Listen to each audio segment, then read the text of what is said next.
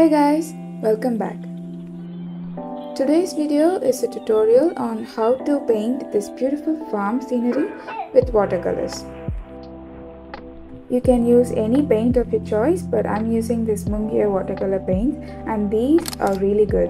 You can find its review in the description box down below so check that out. As for the brushes, I'm using a size 8 mop brush and also a size 0 for larger areas and for details, I'm using a size 10 Raphael brush and a size 2 Princeton Heritage series.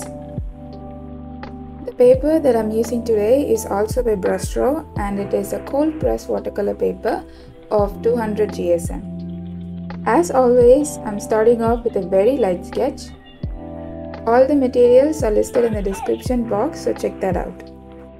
Once that's done, I'll start mixing my colors and I do this before wetting the paper.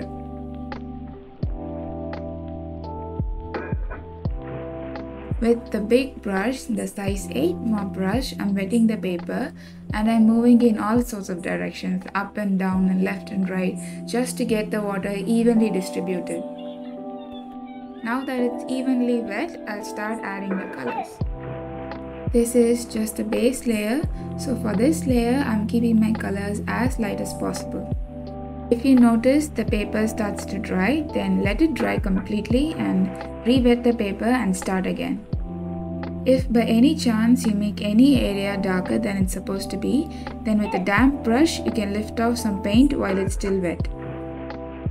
Whenever you're working with watercolors, keep in mind the paint will always look saturated and intense when they are wet, but they become more kind of dull when they dry. So it's always important to work in layers. By doing so, you can create so much depth in your painting and you can really get saturated colors.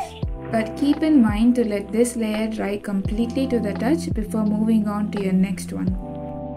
Now that I've established all the colors wherever I want them to be, from this layer onwards I'm starting to add details.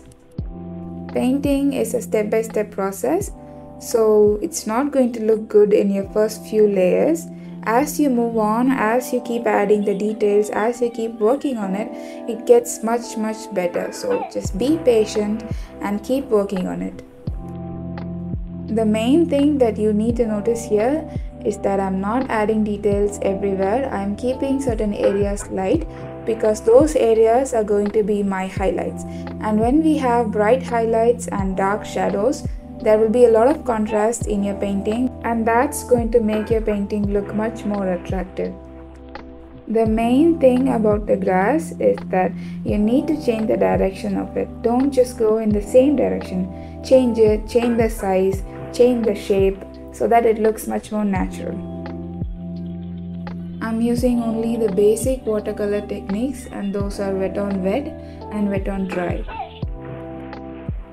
Wherever I want a smooth transition between colors, I use wet on wet, that is wet paint over wet paper.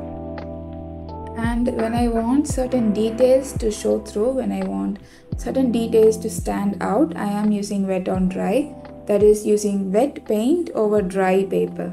For this bridge I used both wet on wet and wet on dry. To represent the leaves and the foliage I am just dotting the paintbrush.